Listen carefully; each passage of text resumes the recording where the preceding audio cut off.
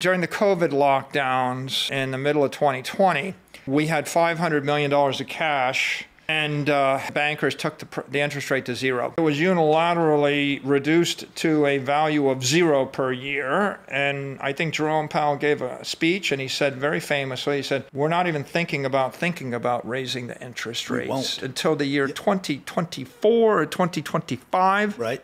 Other than treasury bills. So we started thinking could we buy a stock portfolio? Could we buy a portfolio of art? Could we buy some real estate? Could I buy a fraction of a sports team? Mm-hmm. Should I buy a bunch of gold or should I buy a bunch of digital gold? So I went through the process of elimination and I started thinking maybe I should buy gold. But then I thought what I'd really like is something that feels like gold, a non sovereign store of value bearer instrument. I like something which is the best cross between gold and uh, Google.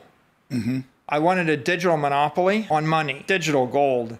And I thought, well, this crypto stuff looks like it's digital gold, a crypto coin, 21 million crypto coins, because the appeal of gold is it's scarce and desirable as a store of value. And the appeal of crypto is I can teleport it and I can self custody it and I can program it.